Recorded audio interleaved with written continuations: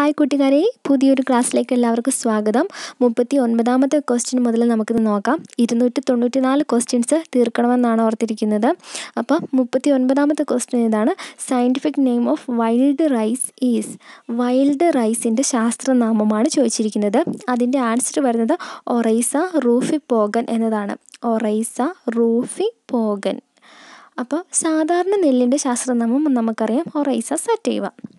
ഇനി അടുത്ത നാൽപ്പതാമത്തെ question in Kerala coconut is harvested once in dash days അപ്പോൾ കേരളത്തിൽ കോക്കനട്ടിന്റെ ഹാർവസ്റ്റ് നടക്കുന്നത് എത്ര ദിവസം കൂടുമ്പോഴാണെന്ന്? അതിന്റെ ആൻസർ വരുന്നത് നാൽപ്പത്തി അഞ്ചാണ് നാൽപ്പത്തഞ്ച് ദിവസം കൂടുമ്പോഴാണ് കോക്കനട്ട് ഹാർവസ്റ്റ് ചെയ്യുന്നത്. പിന്നെ ഇനി അടുത്ത question dash is the common bio fertiliser applied in rice field rice ഫീൽഡിൽ അപ്ലൈ ചെയ്യുന്ന ബയോ ഫെർട്ടിലൈസർ ഏതാണെന്നാണ് ചോദിച്ചിരിക്കുന്നത്. അതിന്റെ ആൻസർ വരുന്നത് ബി ജി എ അഥവാ ബ്ലൂ ഗ്രീൻ ആൽഗയാണ് കഴിഞ്ഞ ദിവസത്തെ ക്വസ്റ്റിന് അല്ല കഴിഞ്ഞ ദിവസത്തെ എക്സാമിന് ഈ ക്വസ്റ്റ്യൻ ഉണ്ടായിരുന്നു. എനിക്കത് ആൻസർ തെറ്റിപ്പോയി. അതുകൊണ്ട് തന്നെ ഞാനത് പ്രത്യേകം നോട്ടിട്ട് വെച്ചിരിക്കുന്ന ഒരു ക്വസ്റ്റ്യനാണ് അത് നിങ്ങൾക്ക് തെറ്റാതിരിക്കട്ടെ. അപ്പോൾ റൈസിൽ യൂസ് ചെയ്യുന്ന ഒരു ബയോ ഫെർട്ടിലൈസർ ഏതാന്ന് വെച്ചാൽ ബ്ലൂ ഗ്രീൻ ആൽഗിയാണ് പിന്നെ ഇനി അടുത്തത് നാൽപ്പത്തി രണ്ടാമത്തെ question. Normal planting time of sugar cane in Kerala is കേരളത്തിൽ ഷുഗർ കെയിൻ പ്ലാന്റ് ചെയ്യുന്ന നോർമൽ ടൈം ഏതാണെന്ന് ചോദിച്ചിരിക്കുന്നത്. അതിന്റെ ആൻസർ വരുന്നത് ഒക്ടോബർ നവംബർ ഒക്ടോബർ നവംബർ സമയത്താണ് ഷുഗർ കെയിനിനെ പ്ലാന്റ് ചെയ്യുന്നത്. പിന്നെ ഇനി അടുത്ത question the district with maximum area under millets അപ്പം കേരളത്തിലെ ഏറ്റവും കൂടുതൽ മില്ലറ്റ് കൃഷി ചെയ്യുന്ന ജില്ല ഏതെന്നാണ് ചോദിച്ചിരിക്കുന്നത്? അതിന്റെ ആൻസർ വരുന്നത് പാലക്കാടാണ്. അപ്പോൾ പാലക്കാട് കേരളത്തിൽ ഏറ്റവും കൂടുതൽ റൈസ് കൾട്ടിവേറ്റ് ചെയ്യുന്നത് പാലക്കാടാണ് നമുക്കറിയാം. സ്ഥലം ചോദിച്ചാൽ കുട്ടനാട്.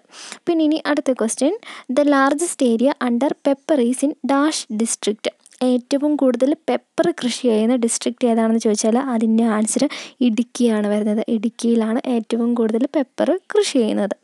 പിന്നെ ഇനി അടുത്ത question the largest area under fresh fruit in Kerala in which district അപ്പോൾ കേരളത്തിൽ ഏറ്റവും കൂടുതൽ ഫ്രഷ് ഫ്രൂട്ട് പ്രൊഡ്യൂസ് ചെയ്യുന്ന ജില്ല ഏതാണെന്ന് ചോദിച്ചാൽ അതിന്റെ ആൻസർ വരുന്നത് മലപ്പുറമാണ്.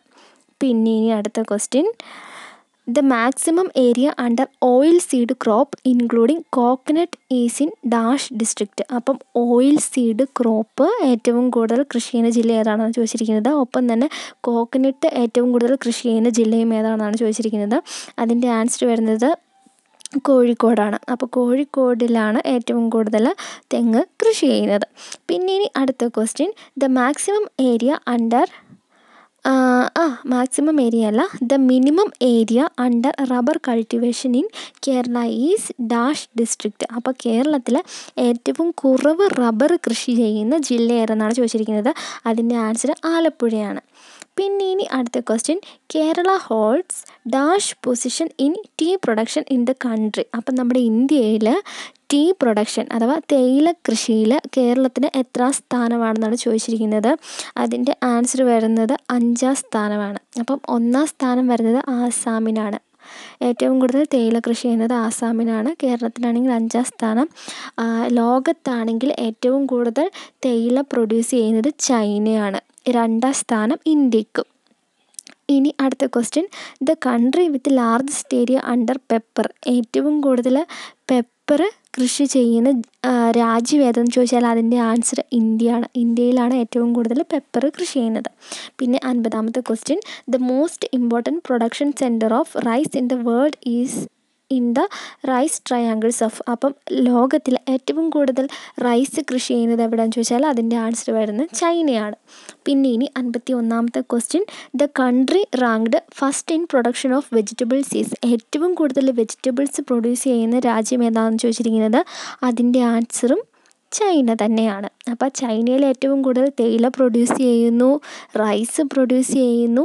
ഇപ്പം എന്താ വെജിറ്റബിൾസ് വെജിറ്റബിൾസ് പ്രൊഡ്യൂസ് ചെയ്യുന്നതും ചൈനയാണ്. പിന്നെ ഇനി അടുത്ത question largest producer of food grain in India ഇന്ത്യയിൽ ഏറ്റവും കൂടുതൽ ഫുഡ് ഗ്രെയിൻസ് പ്രൊഡ്യൂസ് ചെയ്യുന്ന സ്റ്റേറ്റ് ഉത്തർപ്രദേശാണ് യു പി ആണ് പിന്നെ അൻപത്തി മൂന്നാമത്തെ question I C A R came into existence as imperial council in the year I C I R ഒരു ഇമ്പീരിയൽ കൗൺസിലായി മാറിയ വർഷമാണ് ചോദിച്ചിരിക്കുന്നത്. അതിന്റെ ആൻസർ ആയിരത്തി തൊള്ളായിരത്തി ഇരുപത്തി ഒൻപത് ആയിരത്തി തൊള്ളായിരത്തി ഇരുപത്തി ഒൻപതിലാണ് പിന്നെ അൻപത്തി നാലാമത്തെ question cold lands of Kerala are confined to the district of അപ്പോൾ കേരളത്തിൽ കോൾ ലാൻഡ് സ്ഥിതി ചെയ്യുന്ന ജില്ല ഏതാണെന്ന് ചോദിച്ചാൽ മലപ്പുറം ആൻഡ് തൃശ്ശൂരാണ്. മലപ്പുറത്തും തൃശ്ശൂരിലുമായിട്ട് ഉൾപ്പെട്ടാണ് കോൾ ലാൻഡ് കിടക്കുന്നത്. പിന്നെ ഇനി അൻപത്തി അഞ്ചാമത്തെ question the average annual rainfall in Kerala is കേരളത്തിലെ ആവറേജ് റെയിൻഫാൾ എത്രയാണെന്നാണ് ചോദിച്ചിരിക്കുന്നത്? അതിന്റെ ആൻസർ വരുന്നത് മുന്നൂറ് സെന്റിമീറ്റർ ആണ്. പിന്നെ ഇനി അടുത്ത question the only region in Kerala with black soil കേരളത്തിൽ ഏറ്റവും കൂടുതൽ കേരളത്തിൽ ഏറ്റവും കൂടുതലല്ല കേരളത്തിൽ കറുത്ത മണ്ണ് കാണപ്പെടുന്ന പ്രദേശം ഏതാണെന്നാണ് ചോദിച്ചിരിക്കുന്നത്. അതിന്റെ ആൻസർ വരുന്നത് ചിറ്റൂരാണ്. ചിറ്റൂർ വരുന്നത് പാലക്കാട് ജില്ലയിലാണ്. കറുത്ത മണ്ണിൽ കൃഷി ചെയ്യുന്നതാണ് പരുത്തി നിലക്കടല മുതലായവ. ഇനി അടുത്ത question the crop known as boneless meat boneless meat എന്നറിയപ്പെടുന്ന ക്രോപ്പ് ഏതാണെന്നാണ് ചോദിച്ചിരിക്കുന്നത്. അതിന്റെ ആൻസർ വരുന്നത് സോയാബീനാണ് വെജിറ്റബിൾ മീറ്റ് എന്നറിയപ്പെടുന്നതും സോയാബീനാണ് കാരണം ഇതിൽ ധാരാളം പ്രോട്ടീൻ കണ്ടന്റ് ഉണ്ട്. ഇനി അടുത്ത question the deficiency of which nutrient causes chlorosis of older leaves older ലീവ്സിൽ ക്ലോറോസിസിന് കാരണമായത് ഏത് ന്യൂട്രിയന്റിന്റെ ഡെഫിഷ്യൻസി ആണെന്നാണ് ചോദിച്ചിരിക്കുന്നത്. അതിന്റെ ആൻസർ വരുന്നത് നൈട്രജൻ ആണ്. അപ്പം നമ്മൾ ഇതിനു മുന്നേ ഒരു ദിവസം എടുത്ത ക്ലാസ്സിൽ നമ്മൾ ഡെഫിഷ്യൻസി സിംറ്റംസ് ഒക്കെ പറഞ്ഞിരുന്നു. അപ്പോൾ നൈട്രജന്റെ നമ്മൾ പ്രത്യേകം എടുത്ത് പറഞ്ഞതാണ്. അപ്പോൾ നൈട്രജന്റെ ഡെഫിഷ്യൻസി മൂലം വരുന്നതാണ് ക്ലോറോസിസ് അൻപത്തി ഒൻപതാമത്തെ question the secondary macro nutrient essential for green colour is അടുത്ത ക്വസ്റ്റ്യൻ പ്ലാന്റ്സിനൊക്കെ ഗ്രീൻ കളർ കൊടുക്കുന്ന സെക്കൻഡറി മാക്രോ ന്യൂട്രിയന്റ് ഏതാണെന്നാണ് ചോദിച്ചിരിക്കുന്നത്. അതിന്റെ ആൻസർ വരുന്നത് മഗ്നീഷ്യമാണ് അറുപതാമത്തെ question the oxygen content of of the atmosphere on volume basis percentage അപ്പം അറ്റ്മോസ്ഫിയറിലെ ഓക്സിജൻ കണ്ടന്റ് എത്രയാണെന്നാണ് ചോദിച്ചിരിക്കുന്നത്? അതിന്റെ ആൻസർ വരുന്നത് ഇരുപത് പോയിന്റ് ഒൻപത് ഒൻപത് എന്നതാണ്.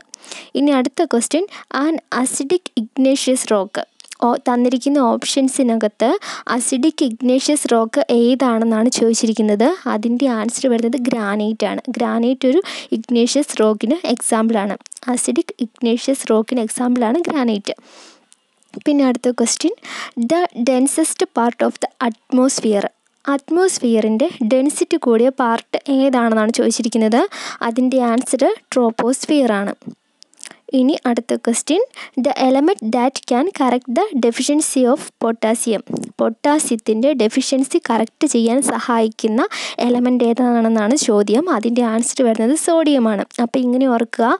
മനുഷ്യരിലൊക്കെ സോഡിയവും പൊട്ടാസ്യവും ഒരുമിച്ചുള്ളപ്പോഴാണല്ലോ ബോധവും ഓർമ്മയും കാര്യങ്ങളും എല്ലാം നടക്കുന്നത്. അല്ലെങ്കിൽ സ്ഥലകാല ബോധം ഇല്ലല്ലോ. അപ്പം മനുഷ്യരിൽ സോഡിയവും പൊട്ടാസ്യവും കണക്ട് ചെയ്തിരിക്കുന്നത് പോലെ തന്നെ പ്ലാന്റ്സിലും സോഡിയവും പൊട്ടാസ്യവുമാണ് കണക്ട് ചെയ്തിരിക്കുന്നത്. അപ്പം പൊട്ടാസ്യത്തിന്റെ ഡെഫിഷ്യൻസി കറക്റ്റ് ചെയ്യുവാൻ സോഡിയം സഹായിക്കുന്നു. ഇനി അടുത്ത question removal of off type plants is called off type പ്ലാന്റ്സിനെ remove ചെയ്യുന്നതിന് പറയുന്ന പേരാണ് റവിങ് അടുത്ത question the most important fibre crop of India ഇന്ത്യയിലെ ഏറ്റവും ഇമ്പോർട്ടന്റ് ആയിട്ടുള്ള ഫൈബർ ക്രോപ്പ് ഏതാണെന്നാണ് ചോദിച്ചിരിക്കുന്നത്? അതിന്റെ ആൻസർ കോട്ടൺ ആണ്.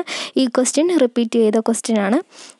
പിന്നെ അടുത്ത question the fungal root association that can be used as a bio fertiliser bio ഫെർട്ടിലൈസറായിട്ട് use ചെയ്യുന്ന ഫംഗൽ റൂട്ട് അസോസിയേഷൻ ഏതാണെന്നാണ് ചോദിച്ചിരിക്കുന്നത്? അതിന്റെ ആൻസർ വരുന്നത് വാമാണ്. വാമിന്റെ ഫുൾ ഫോം ചോദിക്കാം. വെസിക്കുലർ ആർബസ്കുലർ മൈക്കോറൈസ എന്നതാണ് വാമിന്റെ ഫുൾ ഫോം ഇനി അടുത്ത question cropping intensity of Kerala is dash percentage കേരളത്തിന്റെ ക്രോപ്പിംഗ് ഇന്റൻസിറ്റി എത്രയാണെന്നാണ് ചോദിച്ചിരിക്കുന്നത്? അതിന്റെ ആൻസർ വരുന്നത് നൂറ്റി മുപ്പത്തി ഒൻപതാണ് ഇനി അടുത്ത question the scale used for measuring wind speed തന്നിരിക്കുന്ന ഓപ്ഷനുകളിൽ നിന്ന് വിൻഡ് സ്പീഡ് കാൽക്കുലേറ്റ് ചെയ്യാൻ ഉപയോഗിക്കുന്ന സ്കെയിൽ ഏതാണെന്ന് ചോദിച്ചിരിക്കുന്നത്.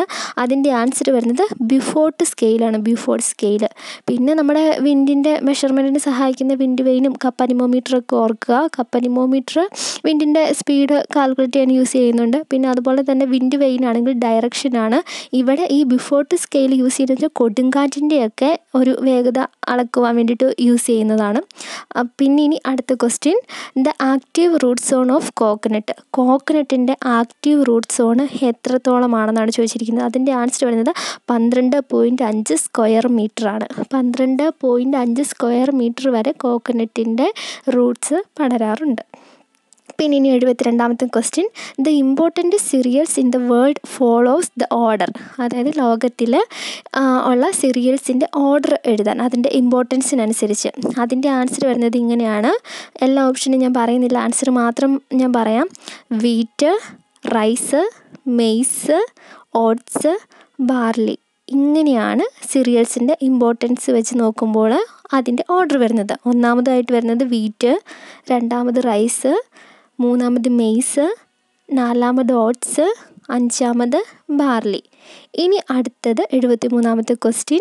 More productive water system. ഏറ്റവും പ്രൊഡക്റ്റീവ് ആയിട്ടുള്ള വാട്ടർ സിസ്റ്റം ഏതാണെന്നാണ് ചോദിച്ചിരിക്കുന്നത്? അതിന്റെ ആൻസർ വരുന്നത് എസ്റ്റുറീസ് ആണ്. അങ്ങനെ പറഞ്ഞാൽ അഴിമുഖങ്ങൾ. പിന്നെ ഇനി അടുത്തത് എഴുപത്തിനാലാമത്തെ question acid rain is caused by acid ട്രെയിനിന് കാരണമാകുന്നത് എന്താണെന്നാണ് ചോദിച്ചിരിക്കുന്നത്? അതിന്റെ ആൻസർ വരുന്നത് oxides of nitrogen and sulphur നൈട്രജന്റെയും സൾഫറിന്റെയും ഓക്സൈഡുകളാണ് ആസിഡ് ട്രെയിനിന് കാരണമായത്. ഇത് സോയിൽ കൺസർവേഷന്റെ ടോപ്പിക്കിൽ വരുന്ന ചോദ്യമാണ് പിന്നെ ഇനി അടുത്തത് the major source of carbon dioxide to the atmosphere അറ്റ്മോസ്ഫിയറിലെ carbon ഡൈ ഓക്സൈഡിന്റെ മേജർ സോഴ്സ് ഏതാണെന്ന് ചോദിച്ചിരിക്കുന്നത്? അതിന്റെ ആൻസർ വരുന്നത് ബേണിംഗ് ഓഫ് ഫോസിൽ ഫ്യൂവൽസ് ആണ്. അതിൽ നിന്നാണ് ഏറ്റവും കൂടുതൽ കാർബൺ ഡൈ ഓക്സൈഡ് അന്തരീക്ഷത്തിൽ പടരുന്നത്. ഇനി എഴുപത്തി ആറാമത്തെ question paddy research station located at ഓപ്ഷൻസിൽ പാടി റിസർച്ച് സ്റ്റേഷൻ എവിടെയാണെന്നാണ് ചോദിച്ചിരിക്കുന്നത്? അതിന്റെ ആൻസർ വരുന്നത് മങ്കൊമ്പാണ്. ഇനി അടുത്തത് name a medicinal rice variety rice വെറൈറ്റികളിലെ medicinal rice variety ഏതാണെന്നാണ് ചോദിച്ചിരിക്കുന്നത്. അതിന്റെ ആൻസർ വരുന്നത് ഞവരയാണ്. ഓപ്ഷനിലുള്ളത് ത്രിവേണി നിറപറ പുഞ്ച എന്നിവയാണ്. അപ്പോൾ നമുക്കത് വായിക്കുമ്പോൾ തന്നെ അറിയാം ഇവയൊക്കെ നോർമൽ റൈസ് ആണെന്ന്.